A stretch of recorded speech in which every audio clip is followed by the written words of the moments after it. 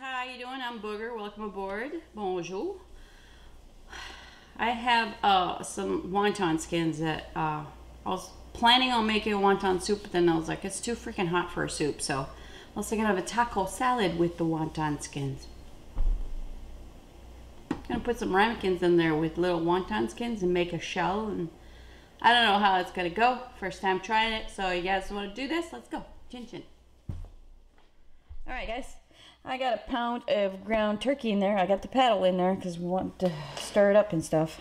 Um, we prefer ground turkey, and it's not as greasy as ground beef, so you might have to drain the grease out of there when you're done cooking it. So, uh, before you put the seasoning stuff, I would anyways. All right, so I've got this. I'm ready. This is my little uh, motorboat thing from Pampered Chef, but you can get one of these at Walmart. It breaks down your ground beef and stuff. I don't know if I'm going to need it yet, so we'll see. Bottom burner, top burner. Oh, also, I'm going to put a little bit of oil, only because ground turkey is a little dry, not like ground beef or ground sausage, whatever you like to use. And um, I'm not trying to fry it, so I just want it slowly cooking. I'm going to put it at a 2. So, what we Alright guys, that was probably 5-6 minutes. As you can see, there's no grease, so we're good to go. All right, I have um, two-third cup of water right here, and I make my own taco seasoning. I'll put the recipe to that in the description box. So I just keep it in here. And it tells me to put three tablespoons of that with two-third cups of water. So that's what I'm gonna do. It smells delicious. Hey, if you got the spices, do it yourself, you know what I mean? I mean, you can use that packet, but prefer to use my own spices. Alright, so here it is. Mix that up.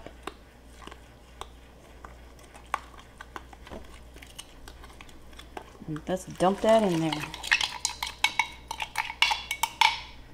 Alright, so we're to cook this for another five. It's pretty close to being cooked at five, six minutes, but we're to put the sauce in there and let it all marry together. We'll be back. Alright guys, that was probably not even four or five minutes. Let's shut everything off. I'm still not used to that. Okay, see, there you go. So I'm to put this in a bowl because I need to take that paddle out and I'll cook our little skins. And I can't take the paddle out like this. I'm to tell you it's to be too hot. So I got to let it cool for about three or four minutes. Okay. So I'll wait till that cools and then we'll get the rest All right, of guys, stuff. I just ended up cleaning it.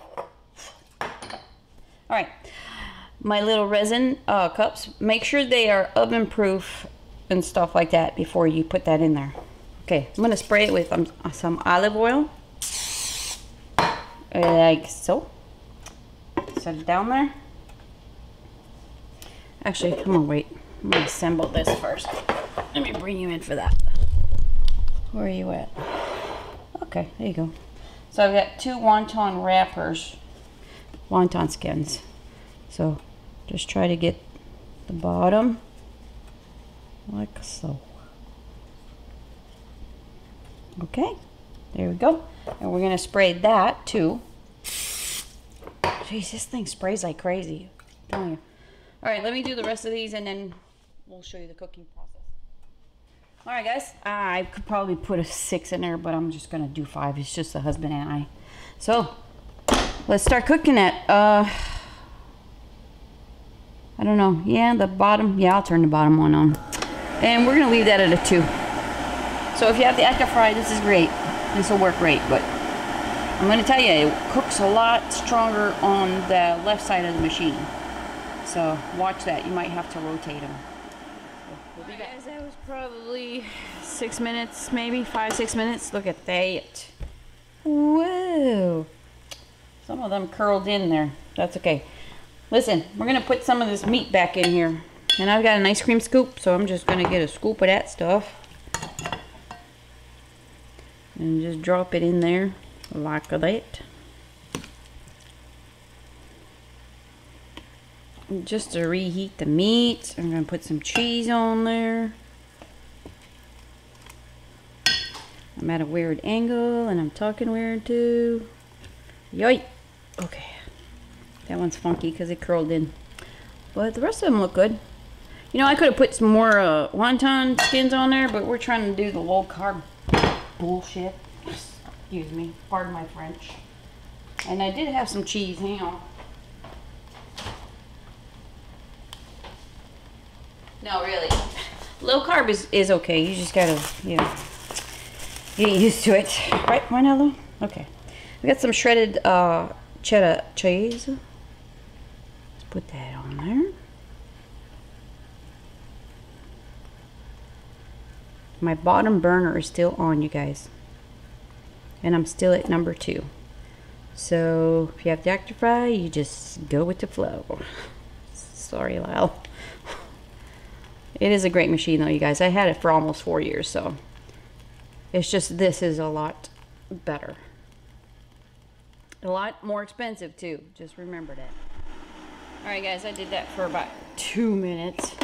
That's enough to melt the cheese, you know. I'm gonna pull one of these out and assemble mine. Now you can put your favorite toppings on there. I'm gonna show you what I like. I got some cherry tomatoes out of the garden. 500,000 of these. So that's the tomato du jour, okay?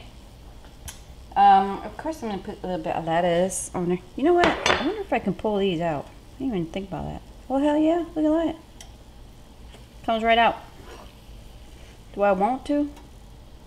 No, I'm gonna leave it in there. All right, lettuce. That's what I like. Husband um, can't do jalapenos, but I sure the hell can. And they're going in, fresh jalapenos. Is that enough? okay, I like um, sour cream. Put a little bit of sour cream on there. Okay. And top it off with some cilantro. Alright, I'm gonna let that cool now I'm gonna taste it. But they look good. This did it pretty good, you guys. Look at that. Pretty cool, eh? Alright, let's uh, let that cool and then we'll taste it. Alright, let adjust this. Okay, I made one just to show you his little milder side, so, because I like jalapenos, jalapenos. You know, if I wanted to, I could pull these out real easy.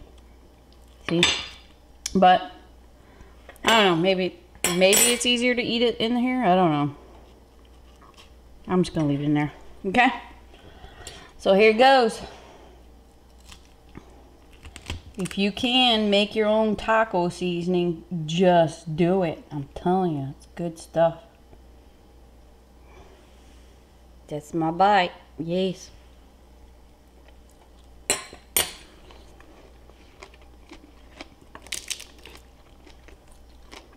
Mmm. See that?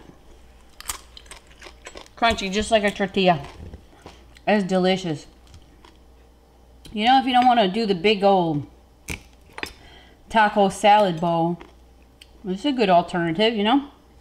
Make different little kinds, you know I'm saying? Who wants jalapeno? I do. Mmm.